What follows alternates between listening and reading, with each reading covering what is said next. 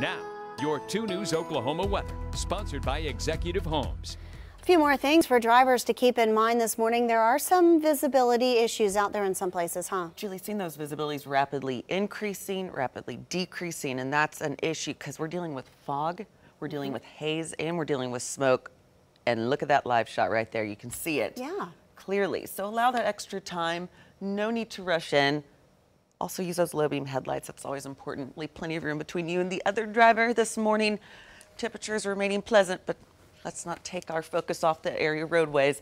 We're seeing those visibilities right now, uh, again, rapidly increasing, rapidly decreasing. Right now here in Tulsa, we're at an eight mile visibility, 10 being good to go.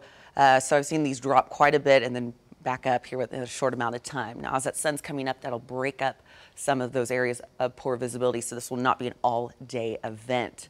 Live look, use our Renaissance Hotel camera. Right now, we're seeing those temperatures. You ready? 64 degrees. I'm loving this. It's August 4th, right, Julie? Yeah, look at that feels like temperature. It does not apply there. I, I mean, it's almost unbelievable. Going to step outside, it feels very pleasant. Northwest winds are in play. They are remaining very calm. Dew points are in that comfort zone. Those are lining up with those temperatures. So it's making it feel uh, very pleasant out there. It's also giving us the right ingredients for that areas of poor visibility to develop this morning. We're seeing 65 down to our friends in McAlester. How about 50s? Over in Bristow, yes, 50 degrees. If you thought 64 was good, I'm seeing those 50s even up in Bartlesville right now. Very impressive for this time of the year. We should be in those 70s. We're good 10 to 15, some areas even potentially 20 degrees off of that average. Very pleasant this morning. We're seeing those temperatures climbing into those 80s by this afternoon. Yes, hazy sun will return because we have those north winds still in play. That's dragging in that wildfire that is out to our west and that is causing those hazy conditions that we've seen starting Monday and then again uh, yesterday. Now for today, we'll keep those around. We're in that unhealthy sensitive groups for for sensitive groups. That is Tulsa's projection for today, which is a 120, meaning those of you with asthma, lung conditions, heart conditions, make sure that you limit that time outdoors if at all possible. Take those precautions.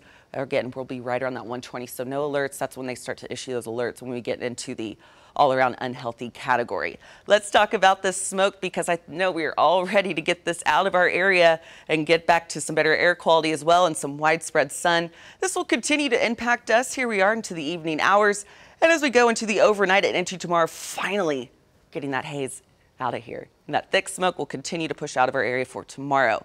Now It'll be in part to south winds. South winds will return, and that's also going to change up our pattern. We are seeing those winds periodically gusting about 40 to uh, 45 miles per hour over the upcoming weekend. It's going to be a very breezy, very windy weekend ahead. And with those south winds picking up as much as they are, yes, you guessed it, our temperatures will be picking up with it. And with those temperatures on the rise, so do our heat indices. We're looking at feeling like 106 by Sunday, and we're going to continue to climb from there. Wouldn't be surprised if the National Weather Service does start to issue additional heat advisories and or warnings as we look towards the upcoming weekend and even into the work week next week.